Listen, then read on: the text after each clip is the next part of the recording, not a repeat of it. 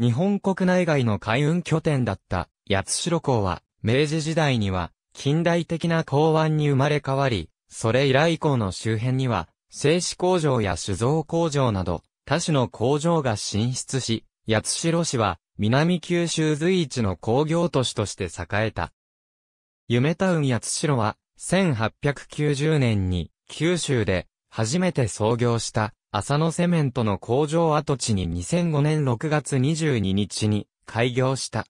熊本県内では2004年にオープンした夢タウン光の森に続く5店舗目の出店で熊本県南部唯一の店舗である。駐車場は2400台を収容し、八代地域では最大級である。また、2011年4月より近くの八代三港から八代インターチェンジ間を結ぶバス路線が開設したのに合わせ、バス利用者に対して駐車場の一部をパークライド用として供用していたが、同年10月に路線が廃止されたため現在は使えない。泉直営の売り場と90の専門店から構成される。